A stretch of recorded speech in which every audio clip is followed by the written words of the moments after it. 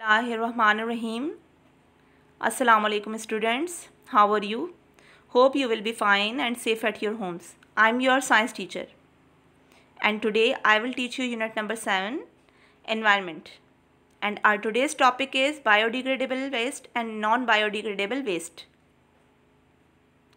The contents of the topic are biodegradable waste and examples, ways of breaking down of biodegradable waste, Non-biodegradable waste and examples.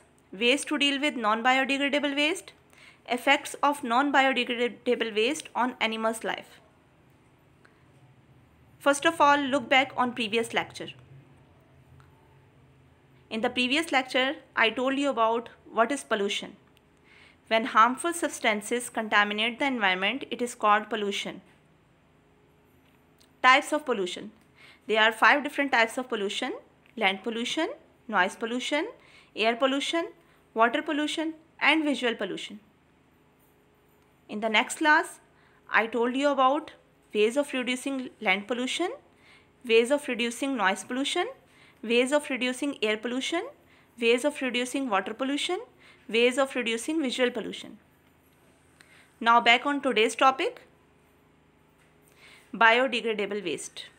Biodegradable waste decomposes naturally. Animals and plants are biodegradable.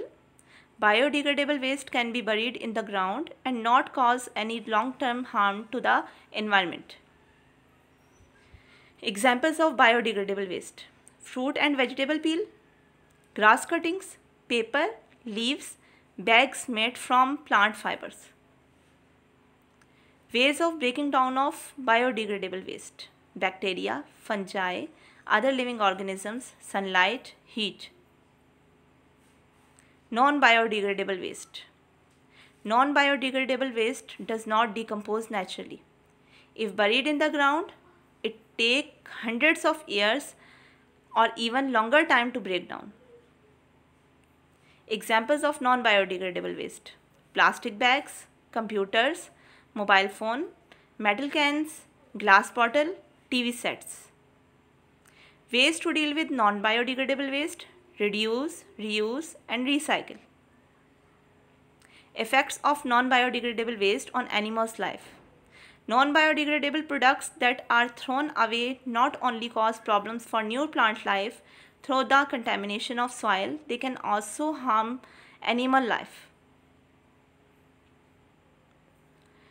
Now students, open your book, The Science Factor page number 69 solve the questions in your science copy. Then open your workbook page number 27 solve this worksheet as your home assignment. Thank you for your attention. Stay home stay safe. Allah hafiz